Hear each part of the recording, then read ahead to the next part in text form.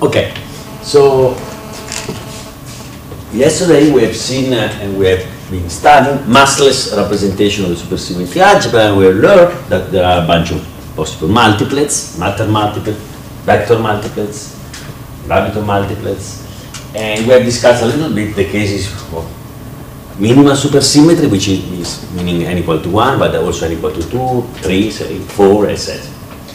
And we have learned a bunch of things. One comment I want to make before we move to massive representations has to do with chirality. Now, as you know, the standard model is a chiral theory in the sense that uh, there are particles in the spectrum, in fact quarks and gluons, uh, sorry, quarks and leptons, which uh, um, use a chiral and anti-chiral components transform differently under the SU2 of the weak interaction, say, okay, under the gauge group. In other words, weak interactions are chiral. So the left and right component of the electron, for example, has different charge under SU2, as you know from the standard model course. So another question is, uh, if we extend the standard model to some supersymmetric theory, can we accommodate this crucial fact of chirality? Now, for n equal to 1, this is obvious. This is obvious because we have learned that the minimal representation that we have studied, the reducible representation we studied in which you can accommodate matter, namely the so-called Bess-Zumino multiplet, had one complex scalar and one Weyl-Fermion. So you can very well put in this multiplet, say, the left component of a quark or a lepton, and then the right component in another multiplet, so they can transform differently under, for example, SU2 gauge interactions, because they are different representations. So. So in n equal to 1 you can accommodate. So then if you extend the standard model to an n equal to 1 supersymmetric theory, you can keep this property, which is a physical property, uh, which is crucial uh, for the self-consistency of everything, of chirality. This could not be, so, uh, okay. What about n equal to 2? Well, in n equal to 2, again, we have matter multiplets, namely the hypermultiplets. So one could imagine that uh, in n equal to 2 you can as well uh, embed the standard model directly. This is not quite true because uh, n equal to 2 is a non-chiral theory because the only multiple in which you could have some chiral representation is the, the hypermultiple because the fermion in the vector multiple will transform in the adjoint of the gauge group, so it's a real representation, so it doesn't work. Um, but we have learned, we have seen that uh, an n equal to 2 hypermultiplet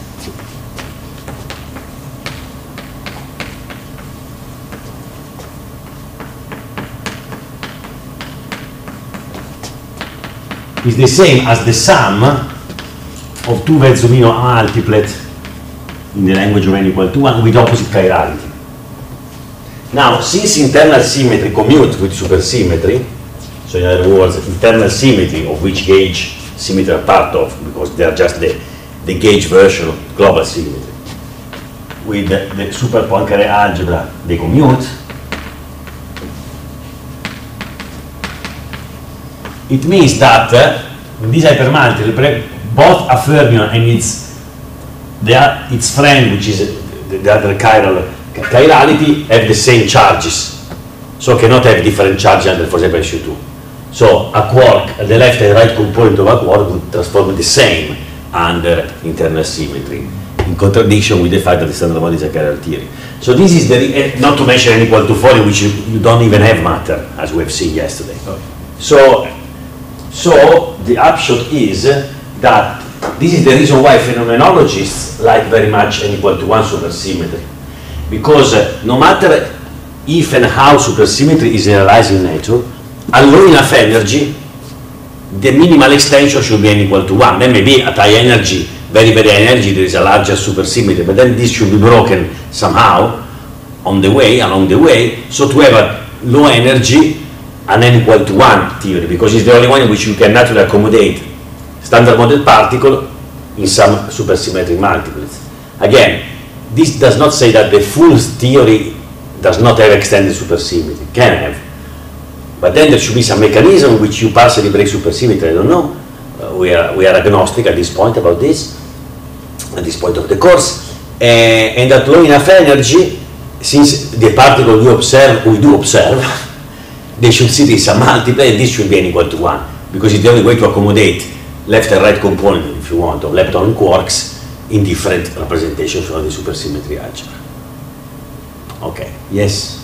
Yeah, uh, you, uh, when you mean the matter method that have opposite chirality, you mean to the asymmetry? Or? No, no, no, no, as respect to, to SU2 gauge, SU2 weak interactions. Now remember that the weak interaction acts on left and right component a different way. I mean, I mean this plus you know plus. Yes, uh, this plus and minus is just a symbolic, uh, inve- a symbolic way invented to mean uh, opposite chirality. Opposite chirality, chirality with respect to what?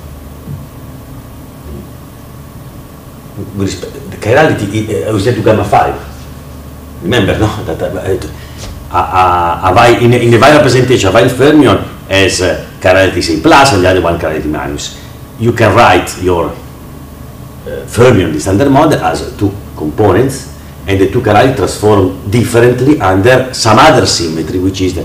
So, in other words, uh, the left component of the electron and the right component of the electron, since this is a singlet under SU2 and this is a doublet under SU2 together with the neutrino, the left component of the neutrino, there is no right component of neutrino in the standard model, this is a doublet under SU2, this is a singlet. So the charge of this EL with respect to SU2 is different from the charge of this ER, ER under SU2. Therefore, these two fermions cannot stay in the same multiplet supersymmetric multiplet because by definition they would have the same charge in contradiction with what I just said. And this applies to all leptons and quarks. I take to the electron, choose any other quark or lepton that you like.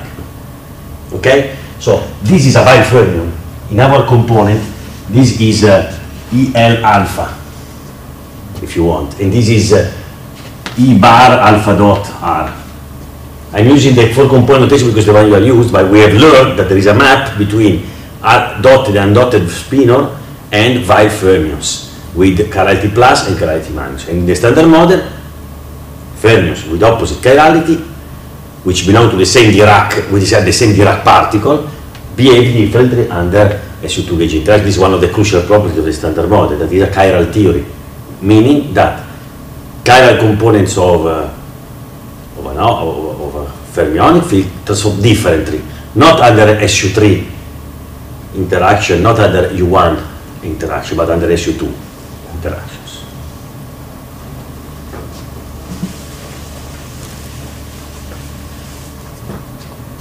Think about the neutrino.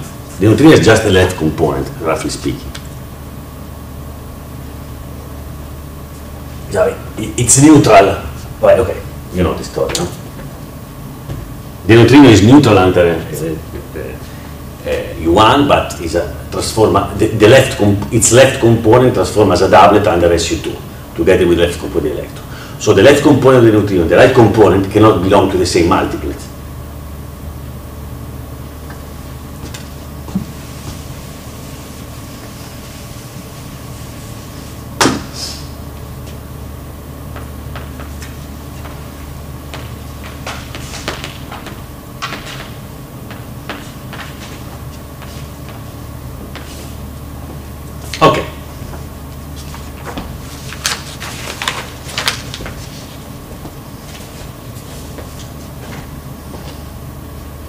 Okay, so let's construct massive representations. Now, the logical steps we have to follow are identical to the one we discussed yesterday, to those we discussed yesterday. But there are some differences. So the first, again, you have to go to the rest frame, and now the rest frame is this one here, right? And the point is that now, if you compute this uh, commutation, anti-commutator, this is 2m delta alpha beta dot delta ij. Because there is an m here if you take into account. So sigma naught, there is p mu sigma, sig, p mu, sigma mu p mu. Since only p naught matters, is different from zero, then only sigma naught, which is the identity matrix, and then you get this. So yesterday, this was just 0, 0, 0 for E. Now you have 2M, 0, 0, 2M, so there are no uh, supersymmetry generator which are realized trivially on the representation, unlike what happened yesterday. Remember that yesterday the, the Q1 and Q1 dot was acting trivially on the representation, and so they didn't participate in constructing the big multiplets. Now, in these for massive representations, instead, all generators act on trivially, meaning that the representation, not surprisingly, will be longer. So the first difference is that reps generically, generically will be longer than massless ones.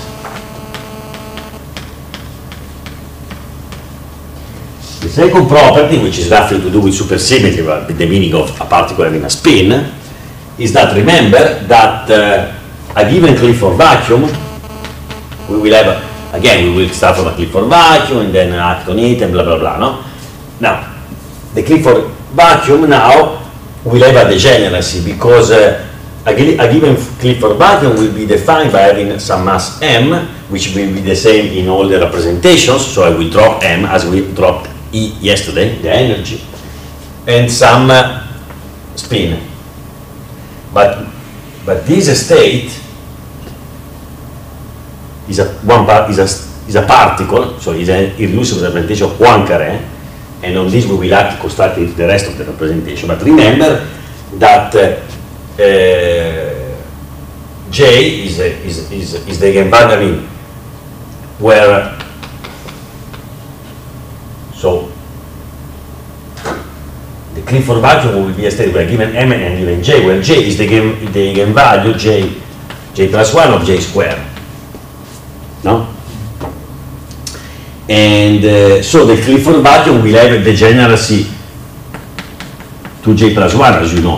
And the J will go from minus J to J, as usual for a massive particle. What I mean that when we write this state, we will not mean just this state, but all states with the same mass and J, which goes from minus J to plus J, as you know from previous courses, okay? So this is understood. The other difference is that, that now, let's start from n equal to 1 supersymmetry, then we will do n equal to 2, etc. Now, instead of having just A and A dagger, we will have A1, A2, A1 dagger, A2 dagger, because all the Q's act non-trivially. So again, you normalize your Q's with 1 over square root of 2m now instead of square root of 4e, you will construct an algebra of annihilation equation operator, but now it's, it's doubled because you have as twice the generator. The, uh, okay, so we will have that to be more precise. A1 or A2 will be by definition 1 over square root of 2m Q1 or 2 and A dagger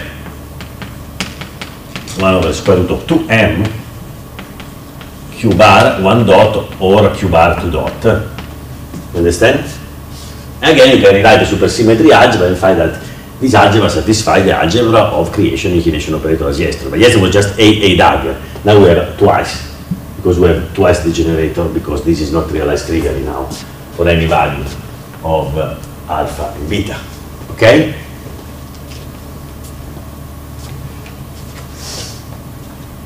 Okay, so let's start from uh, this said. So will be, what will be the Clifford vacuum? Will be a state with a given mass and given spin, which is annihilated by both A1 and A2. So I, I, I go on and construct, construct other states acting with A dagger 1, A dagger 2, as we did yesterday. There is no difference. So let's start from matter multiplet that we can have actually for n equal to 1 Notice that, as you know very well, now there is not issue of CPT conjugate because automatically each state representing a bunch of state going from minus j to plus j are always CPT invariant by construction. A massive state is always CPT invariant. It's only for massless states that was this issue.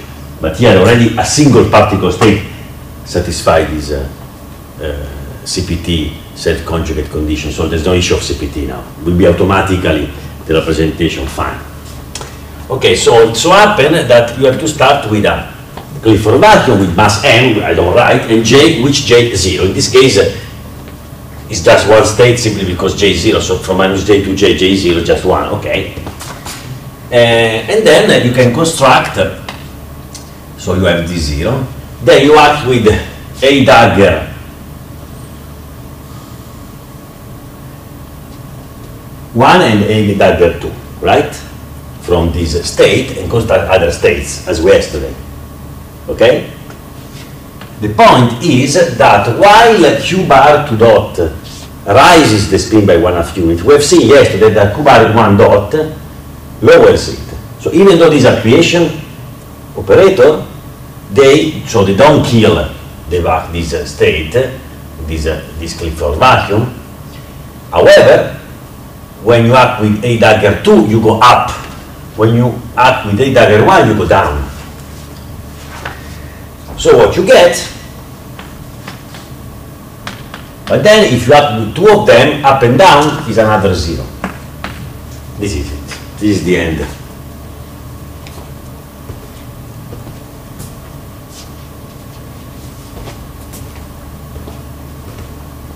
So what is the content? It's the same as a massless multiplet, but it's massive.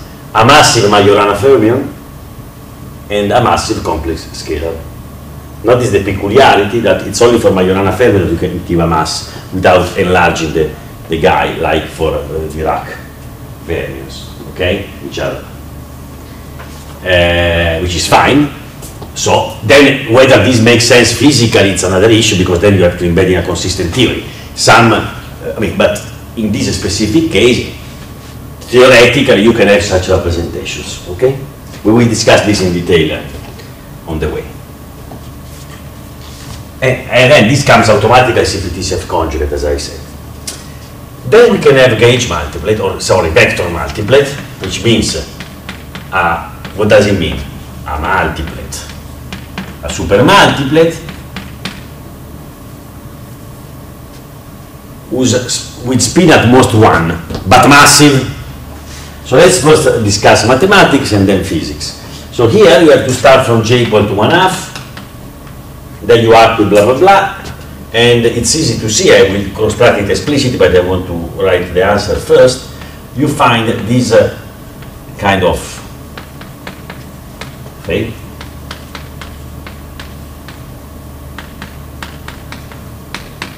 So you get uh, a minus 1 and a 1, 2, 0, 2 minus 1 half, and 2 1 half spin. Uh, so concretely, how do I go from here to here? I want to show you, to, to let you appreciate my point. So when you write j 1 half, you secretly mean both j 1 half and j minus 1 half. Remember, because these are, okay? Uh, so so this is both 1 half and minus 1 half. So when you act with A2 dagger on J, when you think of this as uh, minus 1 half, it creates a 0. When you think of this as plus 1 half, it creates a 1. I hope you understand. This is not one single state, it's two states, secretly. When you act with A1 dagger on J, instead, you create uh, a minus 1 and a 0. Then the other option is that you can act with a to dagger, a1 dagger on j, which gives, you go up and down, up and down twice, you, you get, it gives a 1 half and a minus 1 half. Why? Well, when this is plus 1 half, this goes up and down and remains 1 half. When it is minus one half, you go up and down, it remains minus one half. So now we count, if you count the starting one, which is a plus one half and minus one half, then this, this, this, this, this, and this is precisely what is written here. I did it in detail because I wanted to you appreciate this point of degeneracy that I was emphasizing. Again, this degeneracy is intrinsic to the concept of irreducible representation of Poincare algebra. It has nothing to do with supersymmetry. I'm just using it. Supersymmetry simply acts in going from J to some other J's. So I'm changing, I'm changing this eigenvalue. Okay? I'm changing the spin of the particle. Okay?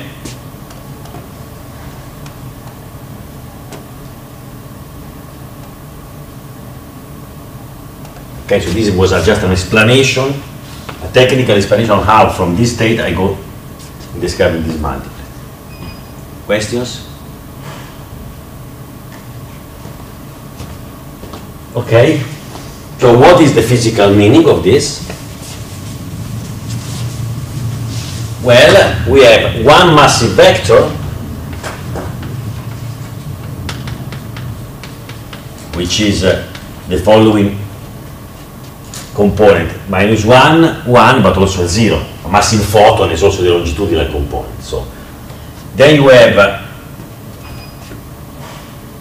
one massive real scalar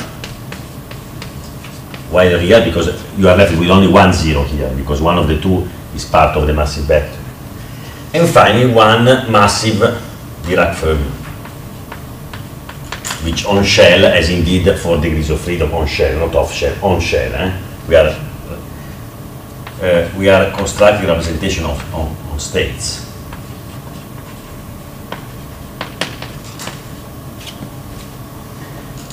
Okay? Now, as you know very well, we don't like massive vector to start with. If you want to construct, uh, to discuss normalizable uh, field theories, mass vector cannot be massive. They can get a mass only by some Higgs mechanism, as it is in the standard model. One of the main achievements along the construction of the standard model was the realization that you can have massive vector in a consistent way if, if you allow them to get a mass spontaneously. I mean, by some Higgs-like mechanism, like the W plus, the W minus, Z, standard model. So, when you write this representation, mathematically is fine. Physically, you have to think that this uh, representation, these guys got a mass by some Higgs mechanism. What is very nice is that if you take this vector multiplet, you realize that it, it, it has exactly the same degrees of freedom of a massless vector multiplet and a massless, ma massless chiral multiplet, matter multiplet that we constructed yesterday. And so this is circumstance because this means that in principle, we will see, but in principle you can have a mechanism which a massless vector multiple and a massless chiral multiple, sorry, a massless vector multiple and a massless Verzolino multiple, which is also called chiral multiplet, so sometimes we say chiral multiplet because it's specific chiralities, can uh, merge by some X-like mechanism, maybe there is some potential, etc., which and the scalar in the, in the, in the, in the chiral multiple plays the role of the X field, which trigger an Higgs mechanism and uh, and the vector it's uh, no, a component of the scalar and these two rearrange into this massive multiplet. It's exactly the same thing that happens in the Higgs mechanism in which an Higgs field can be is eaten, you are left with a massive real scalar, the Higgs that has been discovered at LHC, while the other part, so to say, it's eaten by the gauge boson, providing the longitudinal component. I'm a bit naive, but just to give you the, the idea. And this is the same here. So the fact that this can happen also supersymmetrically means that you can have a, a supersymmetric theory which you break gauge invariance, sorry, you gauge, you break gauge symmetry in the sense of you trigger an Higgs mechanism without breaking supersymmetry. If you didn't have such a representation, or if this representation would not match those massless one, it, it, would be impossible to trigger an Higgs mechanism, which is something physical that we need in order to make sense of massive vector, without breaking supersymmetry. Because meaning, saying that supersymmetry is not broken means that before and after the, the, the phenomenon, you, you can still uh, uh, put, um, you can still uh, write your theory in terms of representation of supersymmetry object, which means multiplets. So it's needed that a massive vector is accommodated in a vector multiplet, indeed, whose various degrees of freedom can be rearranged in terms of massless representations of the supersymmetry. If this was not the case, it would have been impossible to have an Higgs mechanism respecting supersymmetry. So this, if you want, is a nice consistency check. Is this clear?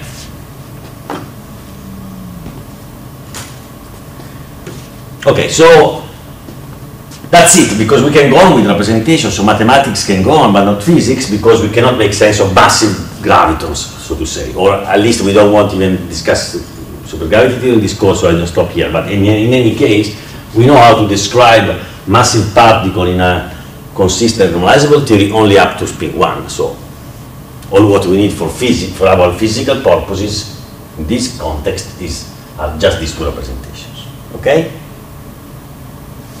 Now let's go to extended supersymmetry. Things are a bit more complicated. There are some there is some mathematics we have to go through, some uh, change of bases and things like that we have to go through in order to appreciate and to construct in an easy way massive representation for extended supersymmetry. First of all, let me notice that here, for n equal to 1, I didn't mention central charges, simply because for n equal to 1 you cannot have central charges, because uh, the central charges are anti-symmetric, Zij are anti-symmetric, right? In i and j. So if you have just one index, the central charge is identically zero. So the question whether you have study states on which the central charge is uh, zero or not is an issue that uh, makes sense only for extended supersymmetry, not for minimal supersymmetry. And indeed, now that we discuss extended supersymmetry, I also allow for having a central charge, unlike we did yesterday for massless representation. And in five minutes, you will appreciate finally why we didn't discuss uh, massless representation with central charge yesterday. Now, first of all, I, I said, as I said, we, we have to do a change of basis. And in fact, since Zij is an anti-symmetric matrix whose index i and j transform under un, remember? Uh, these are the same index of the Qs, no? You can always make a rotation, a transformation, change of basis, so to reduce this uh, uh, matrix in the typical diagonal, block diagonal form, anti-symmetric matrix can be written, and in particular, let me write, write it. So let's suppose we do this change, we can have this thing here. as you can always rotate a symmetric matrix to make it diagonal, I mean with a, the same happens here but in a more, in a less, uh, you know, uh, 0, 0, 0, 0, blah, blah, blah, up to 0, z n half, z n half 0. No? Remember, no? since Zij is a n by n matrix, this sub-index that I'm inventing, sorry, this is a 1, goes from 1 to n half, because this is a n by n matrix. Okay? This is something you can always do, it's convenient. We'll assume that n is even, if it's odd there is an extra entry with a 0. But these are property of anti-symmetric matrices that we may know. Anyway, this is the, a convenient way, a convenient basis to put z. Of course, these are talks also, this change of basis will also be meaning a change, a, a rotation in the basis of Q and Q bars. So I'm writing now the basis which is consistent with this. So let me define the following object, the following linear combination of the Q and Q bar. A1, so I write and then you see the point is that now on top of this equation that we still have. We have another one. Q alpha Q beta equals Zij, Q bar alpha dot Q bar beta dot equal to Zij star. The other part of the algebra we, that we never discussed yesterday because that were zero. Here they are not zero. So we have a, a more complicated system.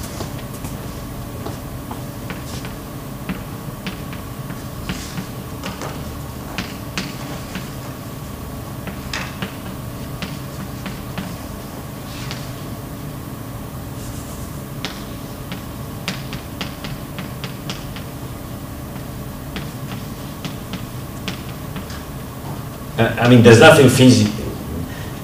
It, it's just a convenient way of, of, rewriting things, okay?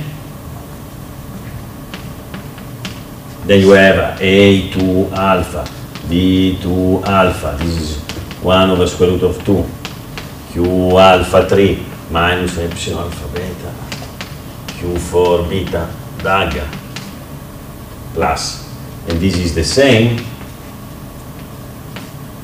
with a minus, and so on and so forth. So you are rewriting the various Q's in this linear combination down to A alpha n half, A, sorry, B alpha n half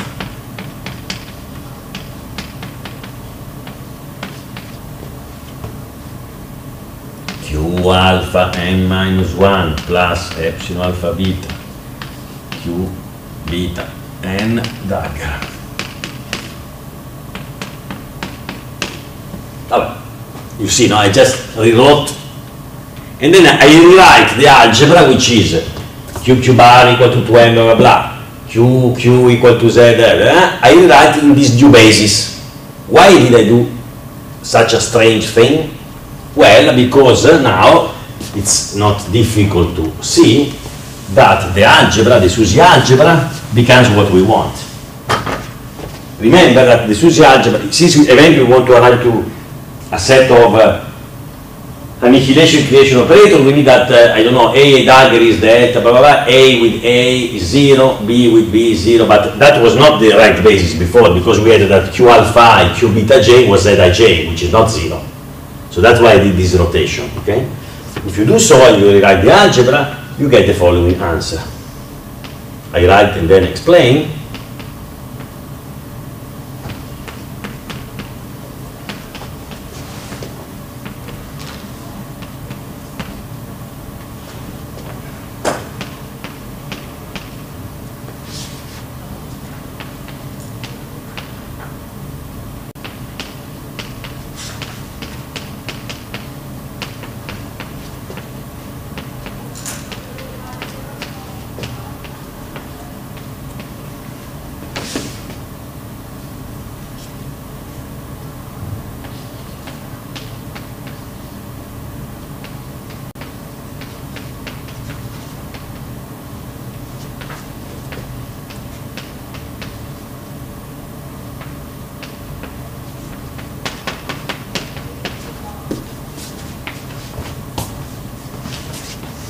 So in this new basis, so having done this rotation and rewriting the generator in this way, the supersymmetry algebra, which is this plus q q z and q bar q bar z star, become this, which is done much more li likely like an algebra annihilation creation operator because you see the A with itself is zero and with anything else but a dagger, and the same for B.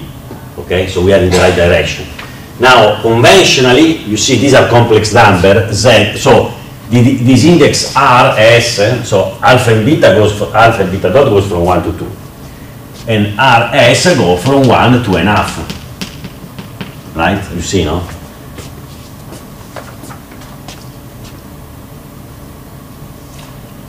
And the same index here. So if you want this index here of the Z, the, the eigenvalue of the Z, is the same index as this upper index here for the A and the B's. Okay? And conventionally I've chosen the Z to be positive and so the minus Z to be negative, but again this is a convention, you can change it just for convenience. Okay? But anyway, these are complex number in general. This is the algebra we have to work. And then we construct a representation acting with this algebra on Clifford Bank, the usual story. Okay? So let's compute the number of creation operator.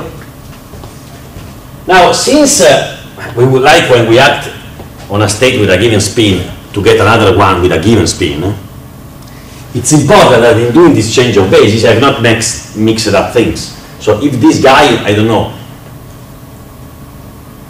rises the spin by one, one half unit, this other guy should also rise the spin by a one half unit, otherwise there is a contradiction.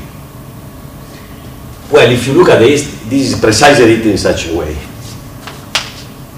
And in order to, to for example, this, uh, if you go back to the, rises the spin by one, one half.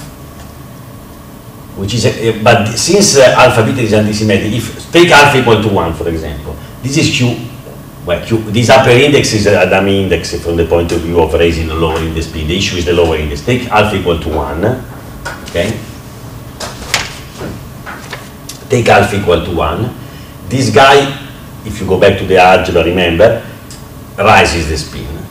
And uh, if this is 1, this is 2, so this is q bar 2 dot. And q bar 2 dot, if you remember, was precisely rising the spin. If you take alpha equal to 2, this is, would be the 1, 1 dot, which lowers and so on. And the opposite for the dagger. So it is completely self-consistent. This together with, if I put a delta here, this wouldn't work. Would be wrong, say. Okay? It's, this is a crucial thing, otherwise it, anything makes sense. So to summarize, if you look at these expressions, you realize that A alpha R dagger have the A alpha, da, A alpha dagger and B alpha R dagger. These are the creation operator, which are how many yards? You have R, which goes from 1 to half, and alpha from 1 to 2. So these are n and these are n. So all in all, even though we have changed letters and bases, are 2n creation operator as promised, which is the general thing. And then you have 2n annihilation operator, which we don't care for the moment. We just act on the creation operator to create states from other states. As far as the spin instead, it so happens that of this creation operator, if you go back to what I was saying before, for alpha equal to 1, this uh, lower the spin by one half unit, and alpha equal to 2, this rises the spin by one half unit. Again, you can check from here and from the uh, algebra, uh, the SUSY algebra we have discussed yesterday, the day before yesterday. Okay? Okay.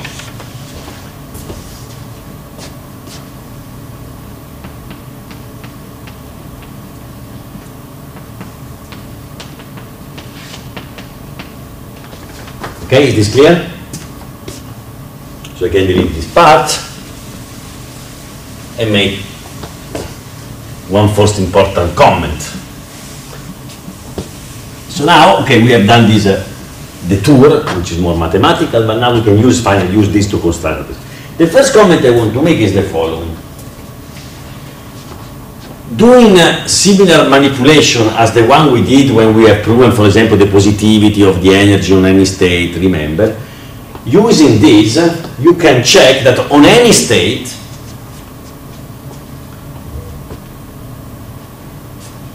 two m is bigger or equal than the modulo of ZR for any R. In other words, if you take this and you compute the value of this uh, guy on any state which carries the, of the part being party or any state uh, which is part of the multiplet with the mass m and given central charge, okay, you realize that on these states, using the SUSY algebra, I remember q q bar is equal to p mu, so related to that, so there is an m, you get uh, this result. So what we learn? That the mass modulo a 2, which is just normalization, you can put the 2 on this side, you can reabsorb the 2 in the central charge, it's not an issue, but the crucial point is that the mass of a representation is always larger or equal than the modulo of the central charge of the same representation. Therefore, for massless representation, the left-hand side is zero. Massless representation is zero. So, the only way in which zero can be larger or equal than a positive number is that this positive number is zero itself. And so this shows why for massless representation, the only consistency representation which are massless, consistent with the SUSY algebra, this has been derived from the SUSY algebra, are those for which the central charge are vanishing. So this is the reason why, this is the posteriori reason why yesterday we didn't discuss massless representation with central charge. Why we didn't discuss? Because massless representation with non-vanishing central charge do not exist. They violate the supersymmetry algebra because they would violate that uh, bound which comes from the supersymmetry algebra.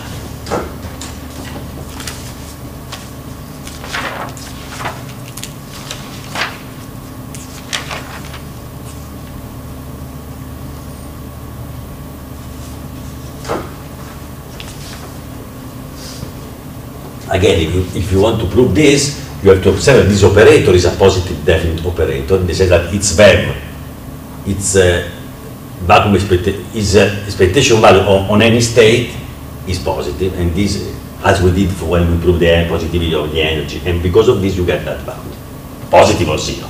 Then you bring this z on the other side, and this is the result. Okay? So this is the first comment. So the first comment is that massless representation have Zij as we have done this. Okay? Now, these ZR are eigenvalues of my um, my uh, central charge matrix, which was put in so-called skew diagonal form. So I have a given mass and a given z, a given bunch of z. So generically, the mass of the representation will be larger generically of this eigenvalue. So suppose that this is the case. If the mass of the representation I'm studying is larger than this eigenvalue, this is always this is satisfied with a, without the equality. So here the right hand side will never be vanishing. And so all the creation annihilation operator are realized non-trivially. But suppose that for some that given a mass, I have many ZR, some ZR sati saturate the, the, the, quality. So for some ZR, ZR is equal to 2n. Then for that specific ZR, for example, this will be zero. And so the, the corresponding B, the, the, corresponding, there is a delta RS here, eh? the corresponding uh, anti-commutator of this annihilation and corresponding creation operator will be zero. So they, they, will, they will be realized trivially on the representation, as was before, as was yesterday for massless representation. What does this mean? That in theories with extended supersymmetry and non-vanishing central charge, there are longer representations, which are those for which none of the central charge eigenvalues saturate them, this bound. There are shorter representations for which some or maybe all uh, central charge eigenvalue saturate the bound. Why? Because when there is a saturation, some of the creation and annihilation operator are realized trivially on that specific representation. They give a zero. So now you appreciate that even though the Z are central charges, they're important because whether a, state, uh, um, a representation, which is degenerate in mass and central charge, because they are both commuting with all uh, the p square is a Casimir, blah blah blah. Um, the representation is, is, defined by a given mass and a given central charge eigenvalue, eigenvalues, because there are more than one in general. For those representations in which some of these eigenvalues saturate the bound, the representation is shorter. And, uh, so you have long multiplet, semi-short multiplet, ultra-short multiplet, and this is what I'm going to make it precise now. Okay, so so suppose that none of these saturate the. Then you have a long representation. You have long multiplets, which is the most generic situation, which, as we already discussed, has 2 to the 2n states, 2 to the 2n minus 1 bosonic, plus 2 to the 2n minus 1 fermionic, as we did for the n equal to 1 massive representation we discussed before, no? Was 2, 4, 2 bosonic, 2 fermionic. Here, for n equal to 2, for example, this is 2 to the 4, okay, and um, which is 16, so 8 bosonic, 8 fermionic, and so on and so forth. But now suppose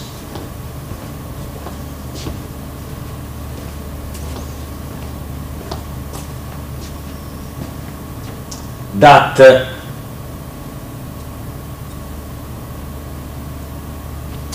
okay now suppose that k less or equal than n half of the z of the zr saturate the bound.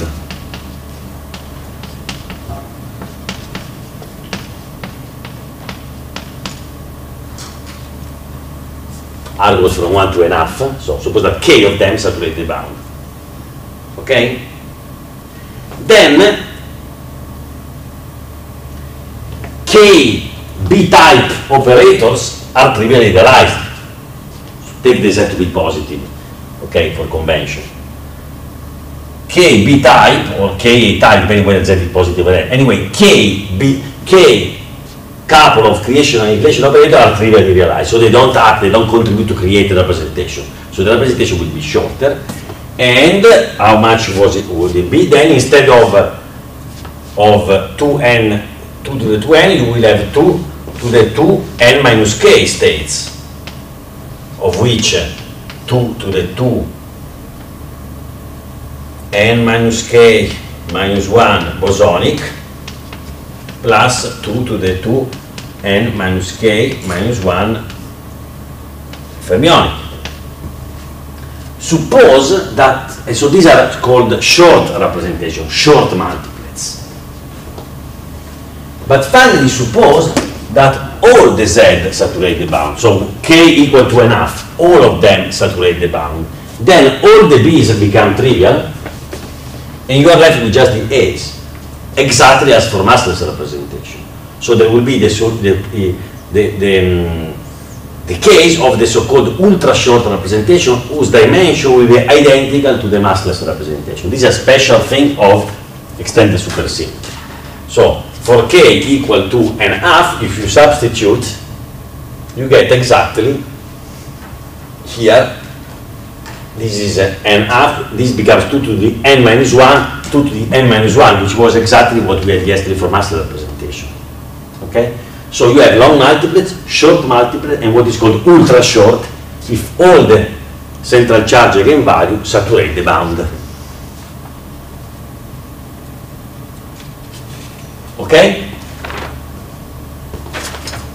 It's a bit, uh, I hope it's clear, no? Again, remember one of the crucial things of yesterday was that some, the, the Q1, Q bar 1 dot was having a zero here, and we didn't use it to construct the representation. We only had the 2 and the 2 dot. This, in a different base, is the same philosophy. For some values of the z, this is uh, 0, and at most all of them are zero, so you're left only with the A-type operators, and so their number is as for massless representation, because you don't have anymore these B's, B dagger, and so how many, of, how many are these are N, like for massless representation, instead of 2N, okay? So when you construct massive representation with the extended supersymmetry, you have to say that to, have, to say you have also to specify whether you saturate or don't saturate the BP, this bound and how much you do saturate it. How many eigenvalues do saturate it, okay? These are long blah blah, then in practice will, there will be very few examples. Because for example, when we will discuss in three minutes n equal to 2 supersymmetry, how many of these eigenvalues do you have for n equal to 2? Just one, because the, the, the Zij matrix is 2 by 2. So for n equal to 2, Zij, since i and j go from 1 to 2, this will be 0, z minus z, 0, finish. So either you have long multiplet or ultra short, you have nothing in between. So it's very simple. In practice, not, will, will, not, will not be so complicated. But here I want to give you the general idea. But then you can go n equal to 4, etc. Okay?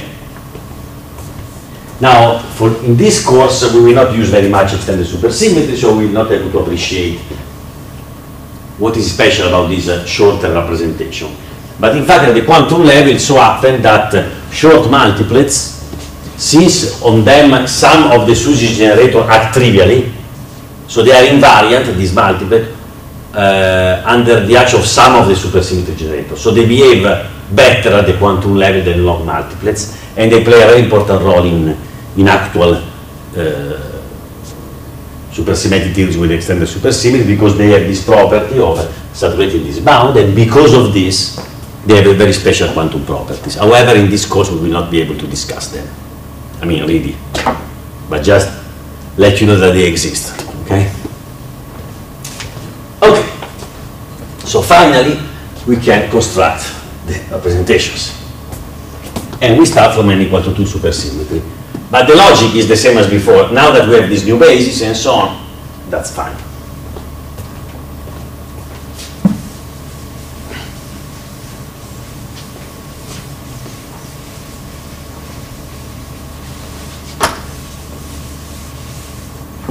So let's start from n equal to 2 supersymmetry.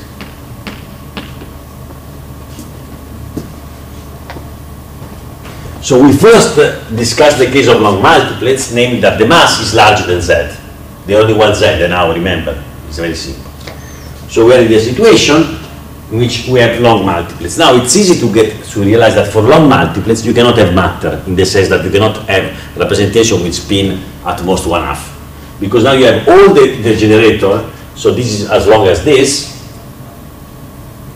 And the, the spin also, if you look at how the A and the A dagger act, you can show that for this, the spin go from lambda naught. If lambda naught is the spin of the Clifford vacuum, lambda naught minus enough down to lambda naught plus enough.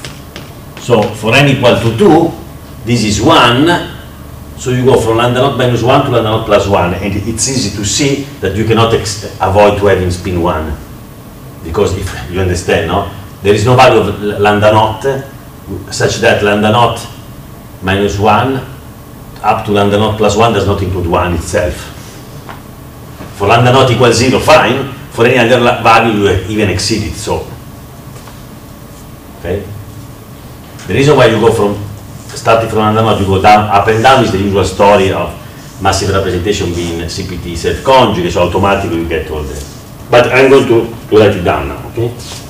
Okay, so for massive representation, not saturating the bound, long representation, you can only have vector multiplet.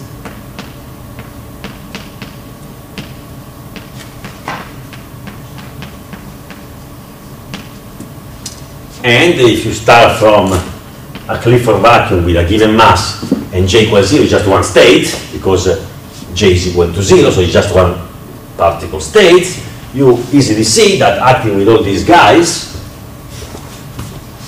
the A dagger and the B dagger, let me write it again, sorry. So you have the, the J, A alpha R dagger, B alpha R R goes from 1 to 1, R is just one index. So you have two of these because alpha is 1, 2, and two of these because alpha is 1, 2. We have four. You start from 0 and then you go on. And it's not difficult to see, given that the one, the index alpha equal to 1 lower and the index alpha equal to 2 rises the spin by one half unit, as I have mentioned before, you start from zero and this you will go both down and up. And the answer is minus 1, 4 times minus 1 half, 6 times 0, 4 times 1 half, and a 1. So what is the physical content? One massive vector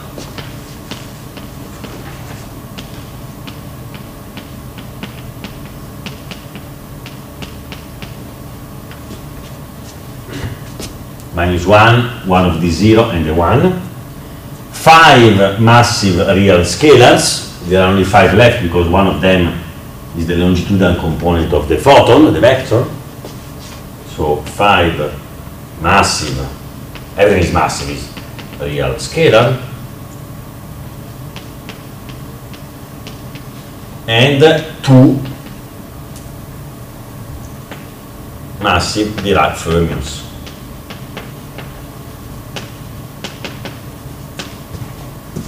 And if you look at this number of degrees of freedom, like in the case of n equal to 1 gauge multiplet, the number of degrees of freedom are the same as the sum of the degrees of freedom of a massless vector multiplet and a massless hypermultiplet that we discussed yesterday, consistent with the fact that this uh, massive representation can arise dynamically to some X-like mechanism in which a massless vector multiplet eats, so to say, a massless hypermultiplet in which there are scalars the hypermultiplet, which can indeed trigger the Higgs mechanism. Okay? So again, this is if you compute the, if you look at this number of states, they are they are arranged they are arranged differently, but their numbers is the same as the sum of the degrees of freedom of a massless vector multiplet and a massless hypermultiplet, in total agreement with what I said before about the Higgs mechanism, which also here can work as for uh, n equal to 1. Okay? That's it. There's nothing else to do with the longer representation because we cannot exceed the spin 1 with massive representations. This is the minimal thing. So now let's discuss massive representation which saturates the bound, for which m is equal to z divided by 2. They are shorter. So maybe since they are shorter, maybe I can construct representations without spin 1, just spin 1 half. And the answer is obviously yes, because this representation will be the so-called ultra short. The ultra short is as long as the massless one, and for massless multiplets, in n equal to 2, we did construct the hypermultiplet, which was a matter multiplet. In the other words, was a multiplet without spin larger than one half. So it's something we can do. And now I'm going to do it.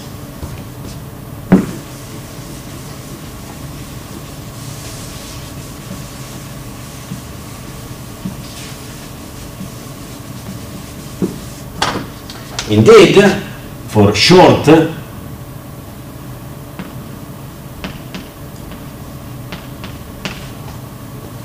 representation we can have. So these are the, the so-called ultra short representation.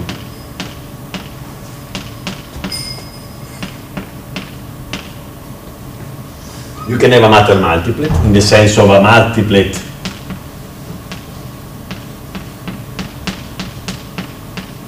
a multiplet uh, with spin not bigger than one half and this is good because of uh, how to obtain just j equals 0. Now you act only with the AA dagger because the B and B dagger are trivially realized, remember.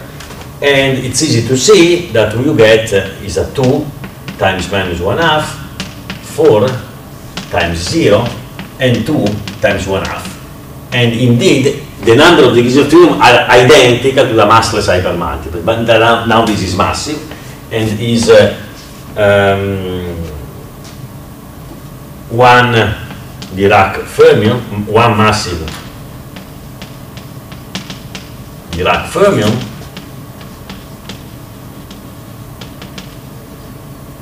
and two massive complex scalars. Before we had two massless Weyl fermions and, and two complex massless scalars yesterday, but it's the same content. What is more interesting is that you can have another vector multiplet, a massive one, for which you saturate the bound. Again, you can act only on the with A and the dagger. So if you start from j equal to one half, you easily see that what you get is minus one, two times minus one half, two times zero, two times one half, and then a plus one. And again, this is one massive vector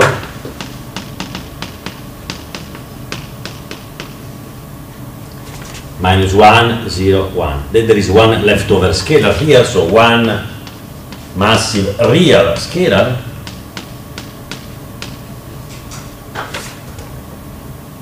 and, uh, and one massive Dirac fermion.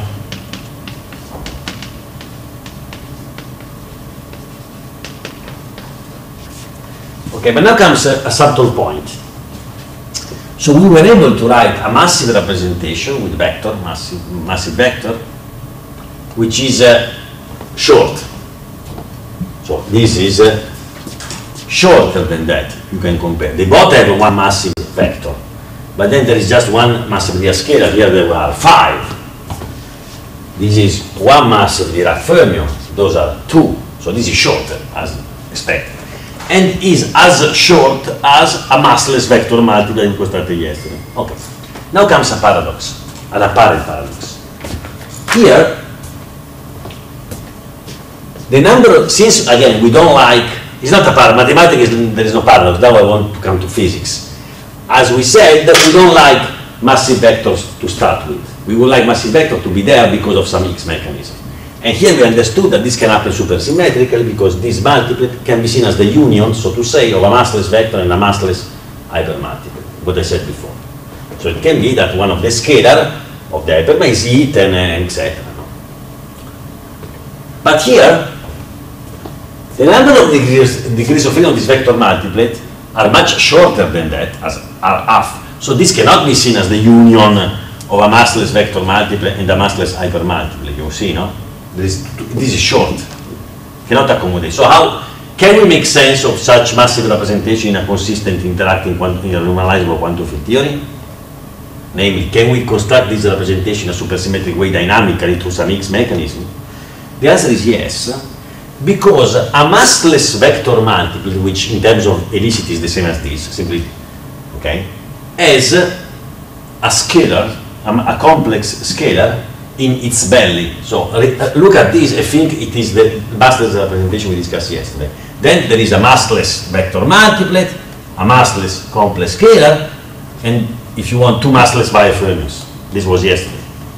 So different from n equal to 1, in n equal to 2, the, the massless vector multiplet has in its belly a complex scalar.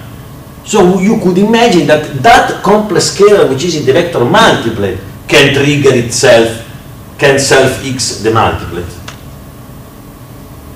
The degrees of freedom to have an x mechanism are there already without taking into account matter multiple. The vector multiple has special kind of scalars which are in the joint, okay?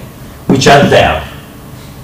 So you can imagine that this multiplet can become massive dynamically through some complicated theory in which is this the scalar which plays the role of the Higgs. And then here after getting a mass, one component is eaten by the photon and the other becomes massive, precisely as in the Higgs mechanism.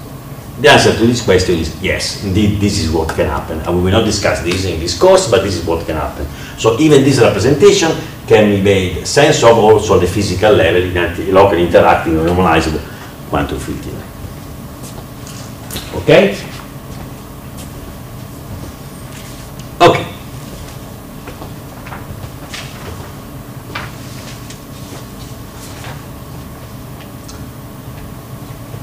Okay, now we go for 2 n equal to 4. There's nothing more to say for n equal to 2. For n equal to 2, for long multiple we only have the vector, and for short we have all, we have both the matter multiple, the, we can call it massive hypermultiplet, and a massive vector multiplet. There's nothing else. What about n equal to 4?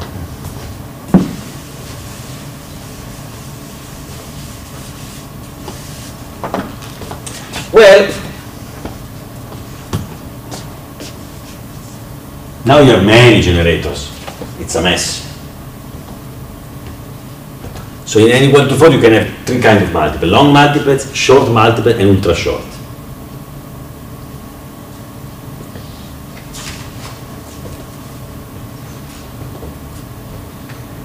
Well, if you want to avoid particle with spin higher than 1, given that we don't, we are not able to, while we are able to make sense of massive vector through the Higgs mechanism, we are not able to make sense of massive graviton to our knowledge, at least in a local interacting local field theory.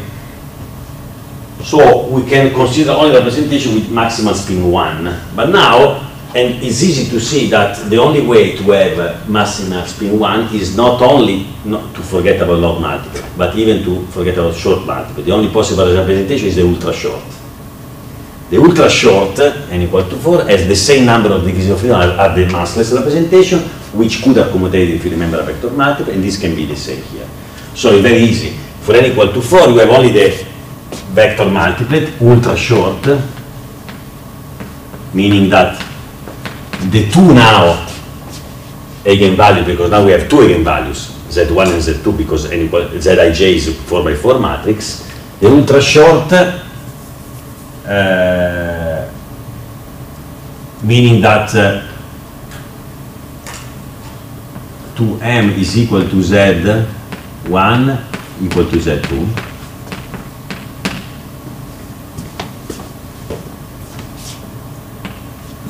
Is the only representative you can have, and it's very easy to write. Write the same as we wrote yesterday, simply fields should be arranged differently. So I don't write it, it's the same as yesterday. So let me, okay.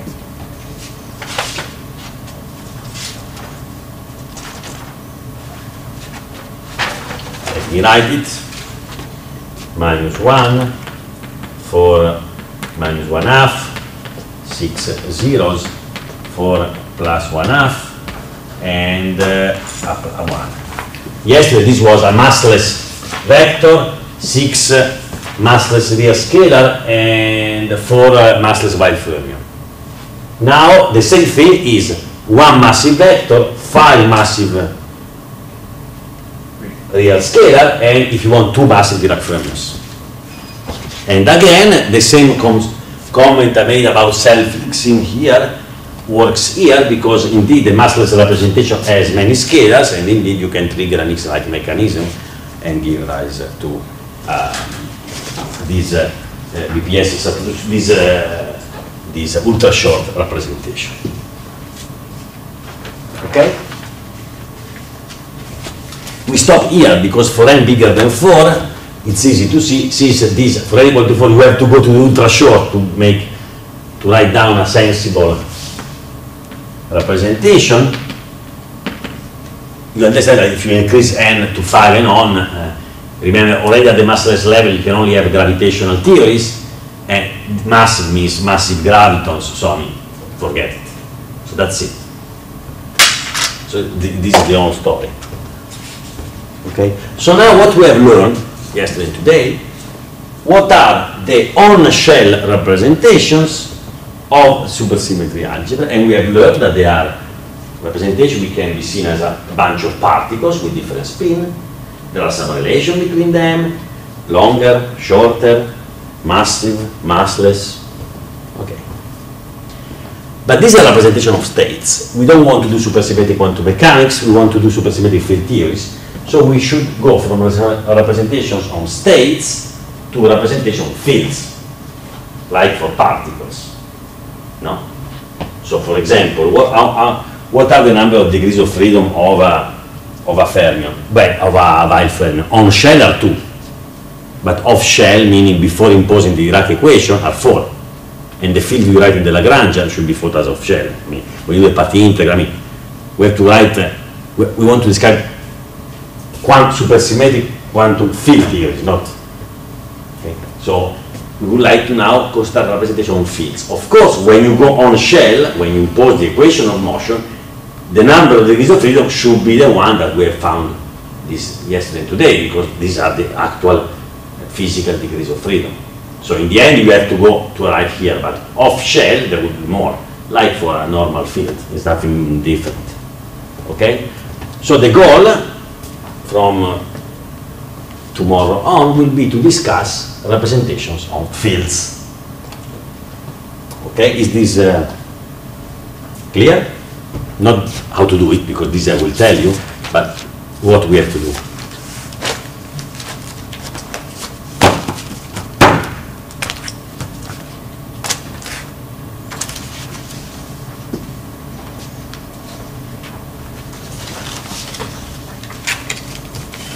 Okay, so let me now see something.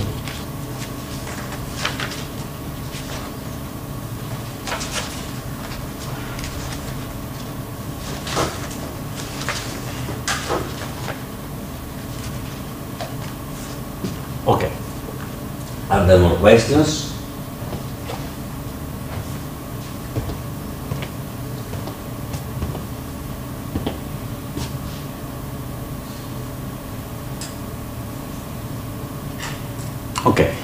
Even though it's okay, so tomorrow we discuss the representation of fields.